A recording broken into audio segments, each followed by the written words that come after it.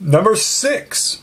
We are officially at number six in the top 15 favorite WrestleMania matches.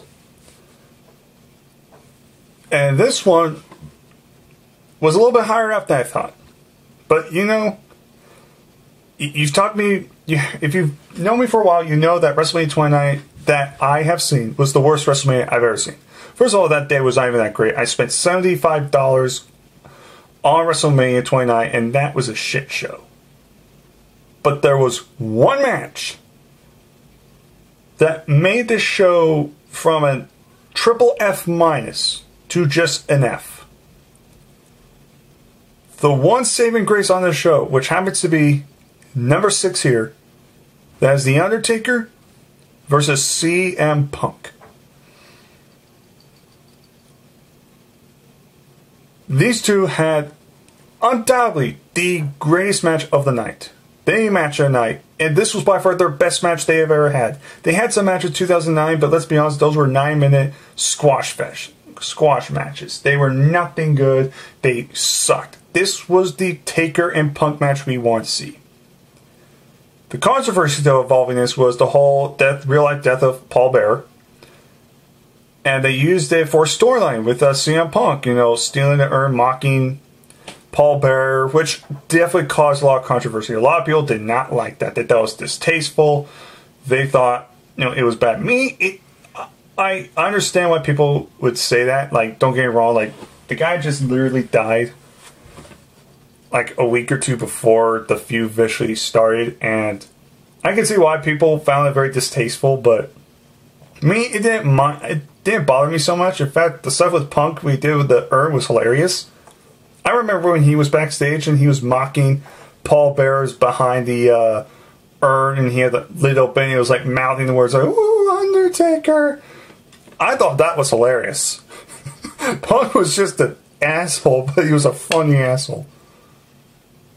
But the build for I thought was good for the certain amount of weeks they had for it. I mean, again, it's a very controversial subject with Moody everything, but I didn't mind it.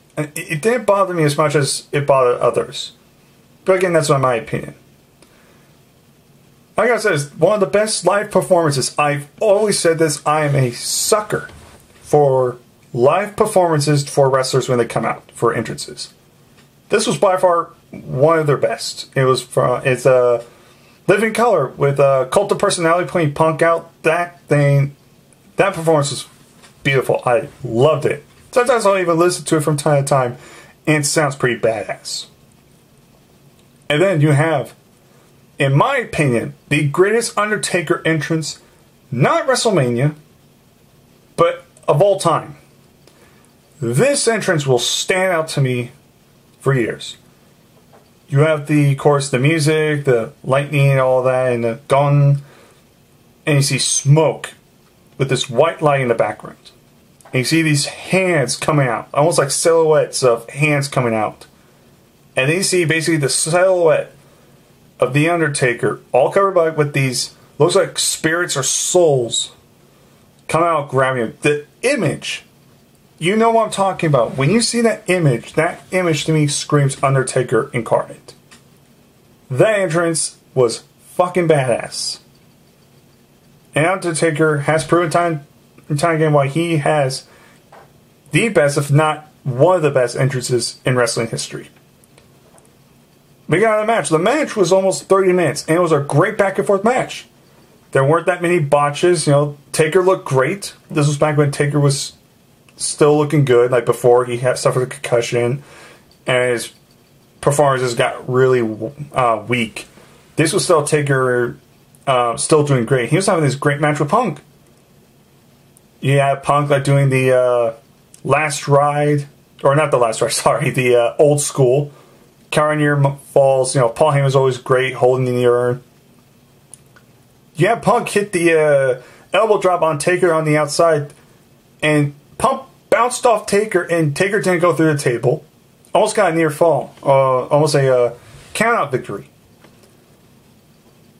One of the spots that took me a few times to watch to finally understand what understood what happened, and I do admit this was kind of dumb.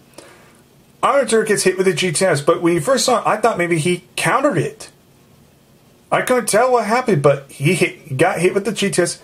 He bounced off the ropes. Immediately got Punk at Tombstone, but thankfully Punk kicked out. I think that would piss everybody off if Punk didn't kick out of that Tombstone. At least one. If they went ended like that, that would have been stupid. But towards the end of the match, we see Taker try and go for a last ride.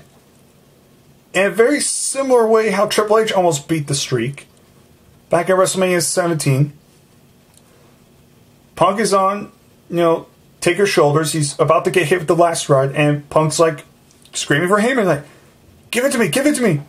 And Paul Heyman hands him the urn. And Punk smashes the urn on the back of Taker's head.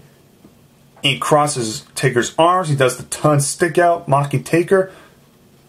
And Taker kicks out. They redid the uh, false finish with uh, Triple H, except with the sledgehammer, it was an urn. I mean, they did a nice little sequence that they were countering the tombstone, and Taker hits the tombstone and wins, gets his urn back, and goes 21 and 0.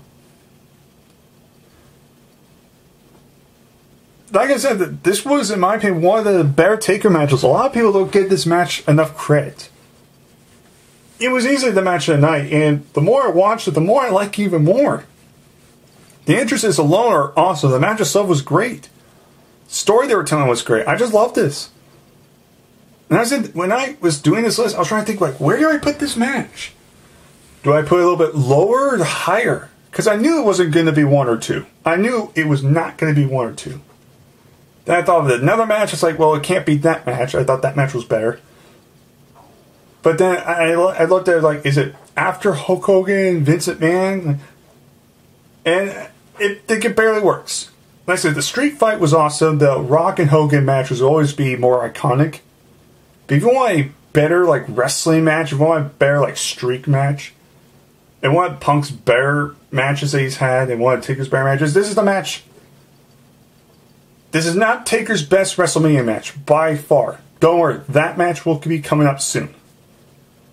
But this is undoubtedly one of his best matches at Mania. Like I said, this was before WrestleMania 30. WrestleMania 30, in my opinion, was the downfall of Taker at Mania, or at least competing. That's when you start noticing more the injuries. He was sloppy. And again, WrestleMania 30, he got injured. He got a concussion, unfortunately, so we can't help it.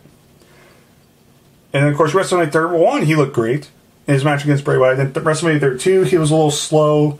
WrestleMania 33, he it was not good for him. That was not good night. 34, he was only in there for like 90 seconds. WrestleMania 35, he wasn't there. So Taker was never really the same after this match. After WrestleMania 30, that's when once WrestleMania 30 hit, it seemed like he wasn't the same. And then, you know, like I said, he had that good match with Bray Wyatt at WrestleMania 31, but then after that, it really just started showing half the time you get, most of the time you would get a Taker match and it would suck. Sometimes it'd be on him, but again, he's just suffered so many injuries. He's older. His legs are all broken down. But this match was one of the better Taker matches. One of the truly last great Taker matches we had at WrestleMania. And it was with Punk. And a lot of people said that that should be invented. You know, on the card that we had, I agree. This match should have been the main event. Triple H and Brock Lesnar, no one cared. It was a second main, but no one cared. Rock vs. Cena too, nobody cared. Punk and Taker was the only fresh match that we haven't seen of. Yes, I, like I said, I know they had feud in 2009, but let's be honest, that feud sucked. This was proper CM Punk, the megastar CM Punk versus The Undertaker. And guess what? It was an awesome match a very great match. A match I think people need to go back and kind of rewatch. Because that WrestleMania was god awful. But that one match made that show somewhat tolerable. But why am I king? That Mania sucked just, it was terrible. But if it weren't for that one match, that pay per view might have been the worst pay per view I've ever seen in my life.